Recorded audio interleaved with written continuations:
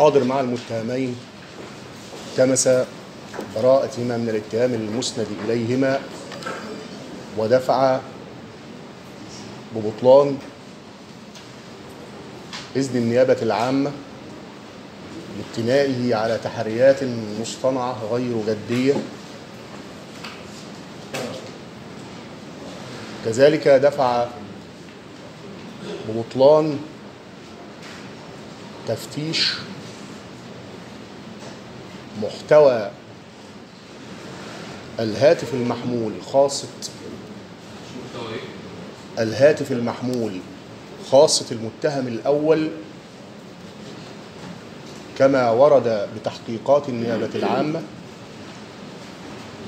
وذلك استنادا لنص المادة 97 و206 إجراءات جنائية وكذلك المادة السادسة من القانون رقم 175 لسنة 2018 الخاص بتقنية المعلومات جرائم الإنترنت كما دفع. مرتفعة يا أستاذ عشان ما نقعدش نعمل دفوع وخلاص الكلام اللي أنت بتقوله ده لما تكون الجرائم مرتبطة بجريمة الإنترنت وأنا رايح عشان أقبض على جريمه ارتكبت بجريمه الإنترنت. لكن دوت هاتف المتهم. لا عليه الصور اللي بيتاجر فيها. يا فندم. هتقول لي بطلان بطلان ال- الهاتف؟ يا فندم بعد إذن معاليك ال- ال- معلش يعني الدفع اللي أنا ثبته يا فندم أنا هدلل عليه في المرافعة والمحكمة هتسمعني إن شاء الله. إن شاء الله. ده اللي نوعد بيه يعني. بس أنا أنا برجوك يعني. ما هو يا فندم أنا أنا قلت. اتفضل يا فندم. نقول الدفوع مش كتر الدفوع. خلاص يا فندم إحنا قلت الدفع بس إيه معلش يعني أنا أحصيت كل نصوص مواد القانون. المتعلقة بهذا التفتيش. كلها يا فندم ده ده واجبي كدفاع إن أنا أعمل كده. والمحكمة طبعا هي يعني هي اللي هتقدر دفاع المتهم يا فندم وهي اللي لها الكلمة الأولى والأخيرة فيها يعني. إن هم مش كل اللي مش يوصل لي 50 دفع. لا يا فندم هو يعني معلش واحترام عشان دي نصوص قانون إحنا أنا أضفتها في الدفع بس. كما دفع. ببطلان القبض لحصوله قبل الإذن. استنادا إلى قالة المتهمين بتحقيقات النيابة العامة.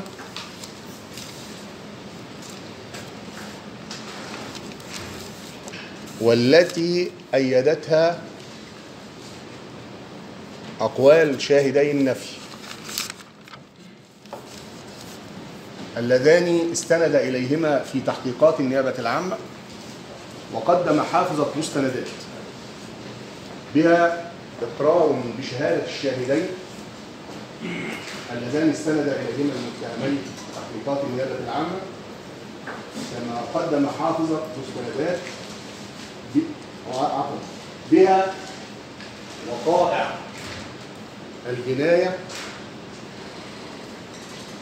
التي أشار إليها الشاهدين بإقرار الشهادة والذي قرر بها المتهمين في تحقيقات النيابة العامة بأن الكمين كان نتيجة لوجود جريمة قتل في قرية شعشاع.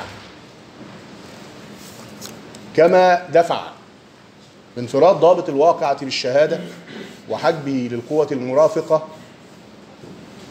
وعدم قيد المأمورية بدفتر الأحوال مما يعني أن للواقع صورة أخرى أمسكت عنها الأوراق ودفع أخيرا بعدم معقولية تصوير الواقعة على النحو الوارد بالأوراق. صاحب المعالي السادة الرئيس أصحاب المعالي السادة المستشارين الأجلاء.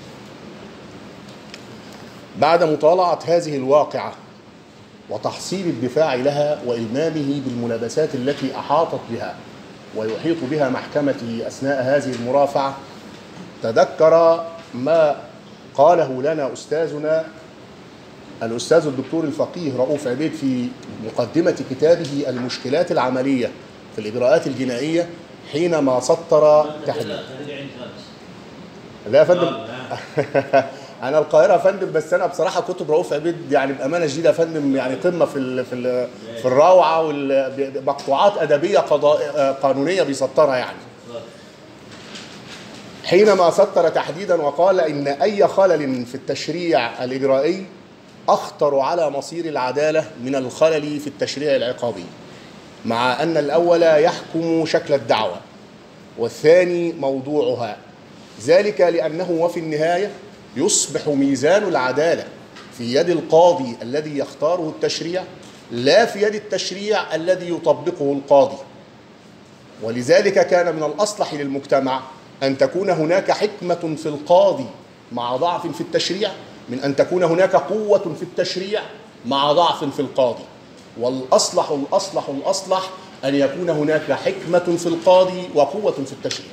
نعم هي حكمة القضاء التي يلوز بها الدفاع ويلوز بها أمثال هؤلاء المتهمون في مثل هذه الوقائع التي تعرض على عدالتكم وهيئتكم الموقره حقيقة حينما طالعنا الدعوى وجدنا أن هناك محضر للتحريات قد سطر وسطر بكلمات قام محرر محضره بتسطيرها على نحو نكاد قد تلفنا رؤيته على هذا النحو. أن متهمين يقومان بالاتجار الأسلحة في الأسلحة النارية وكذلك الذخائر الحية حسب ما روى.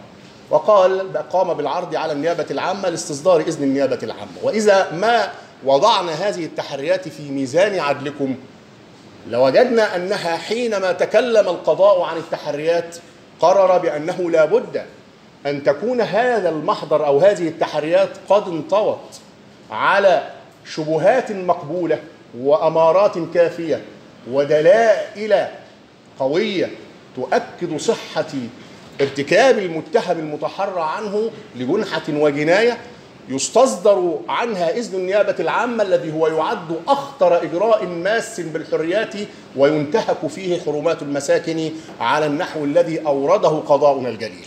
هذا من ناحية، من ناحية ثانية إذا ما طالعنا ما حدث بالنسبة للنيابة العامة في تفتيش الهاتف النقال الخاص بالمتهم الأول يا فندم؟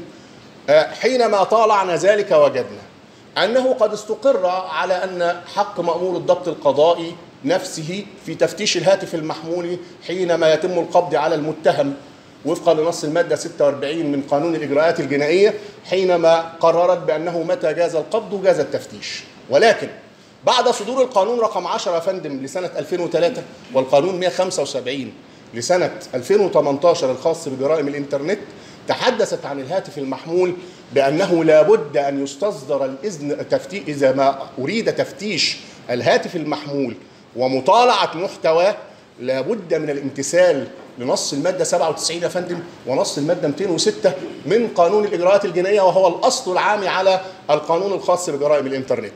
نعم لا يكون تفتيش الهاتف إلا إذا كان هناك قاضيا للتحقيق. وفقا لنص المادة 97 يا فندم. قاضي التحقيق يكون قاضي ابتدائي أو قاضي استئناف أو أن يخول القاضي قاضي التحقيق يا فندم النيابة العامة في التفتيش ولا يخول مأمور الضبط القضائي في تفتيش. هذا الهاتف على النحو الذي علمنا إياه القانون والقضاء.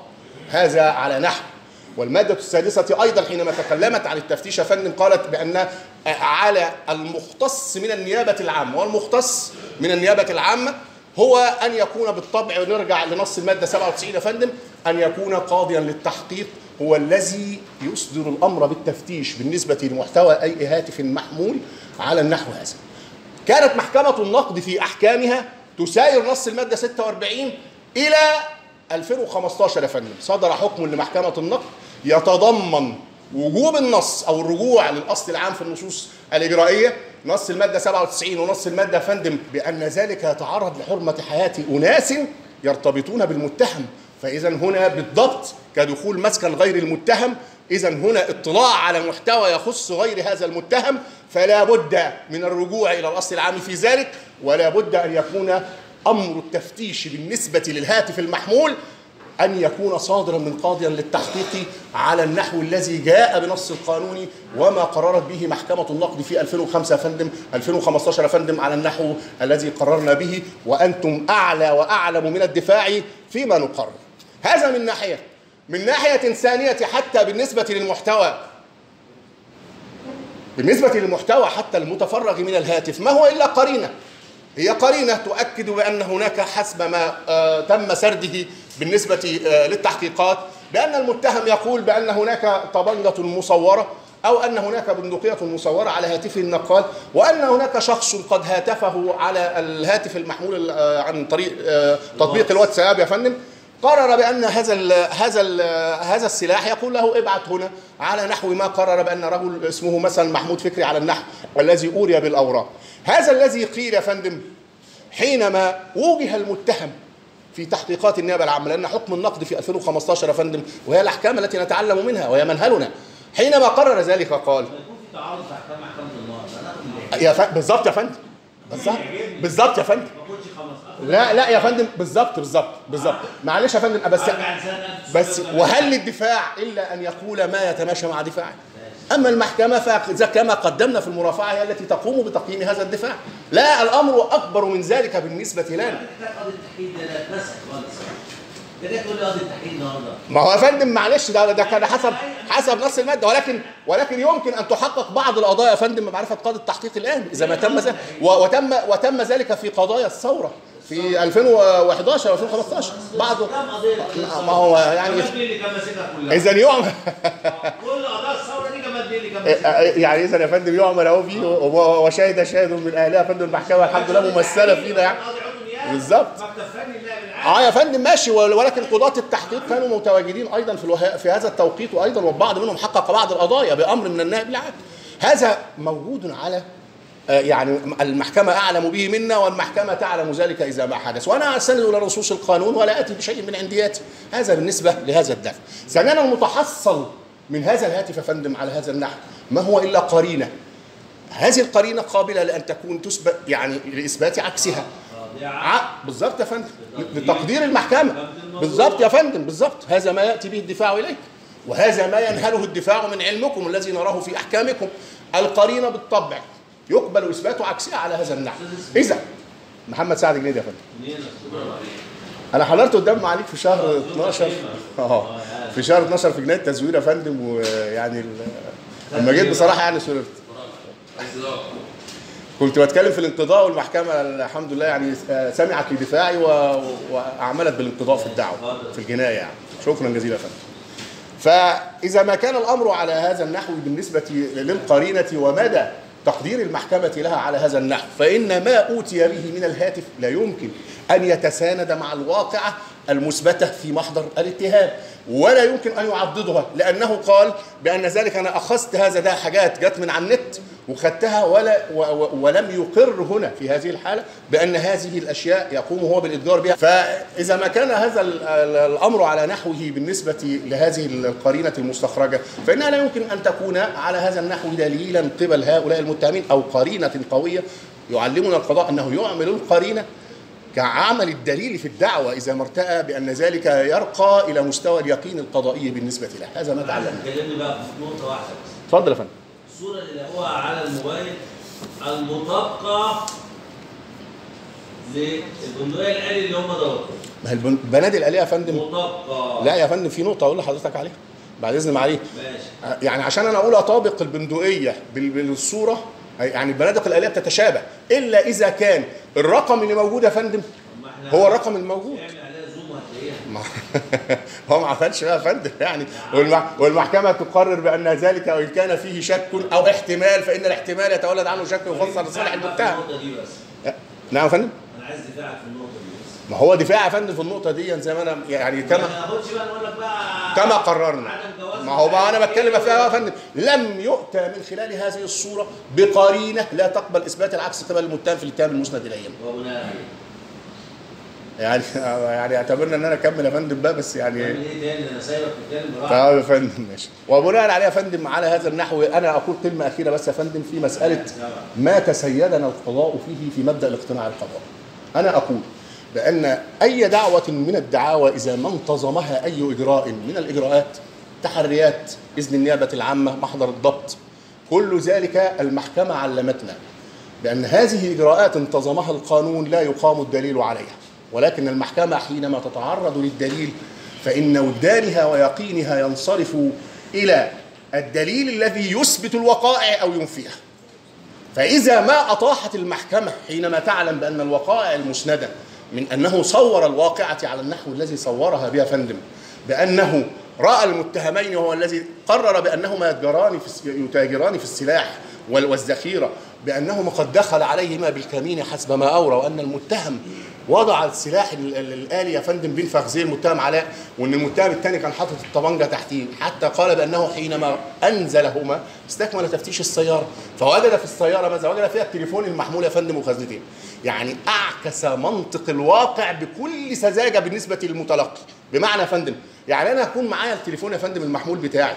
واحط التليفون في العربية اعينه يتفتش يجيبه. وامسك السلاح احطه معلش يعني اضع السلاح هكذا بهذا التصوير. بين فخذي المتهم وهو جالس. وقال بأن الإضاءة سمحت له برؤية ذلك.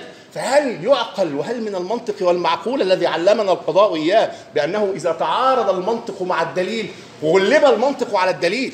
هل فيما قرر به بهذا النحو هو الذي استصدر إذن النيابة العامة؟ وهل يستصدر إذن النيابة العامة يا فندم لعمل كمين أم للدخول إلى المنزل؟ أنت تقول لنا وتوري في الأوراق بأنهم يتاجران بالأسلحة في منزلهما ويتخذان من المنزل وشخص وملحقات المنزل مكانا لذلك. فهذه أسلحة والبلاد تعج بفوضى الإرهاب على نحو ما نرى. فإذا ما كان الأمر على صحته حينما قررت ذلك فكان عليك أن تأخذ المتهمين إذا ما أردت أن تقرر لنا بأن إجراءاتك صحيحة بالانتقال إلى مسكنهما للبحث عن باقي الأسلحة إذا ما كان. وبناء على يا فندم يعني نلتمس من عدالة المحكمة وهي الأعلى بالنسبة لنا في دفاعا عن هؤلاء المتهمين. حقوقهم نلتمس براءتهم يا فندم من الاتهام المسند إليها وأشكر لعدالكم في حسن الاستماع وفي ساعة الصدر شكرا جزيلا.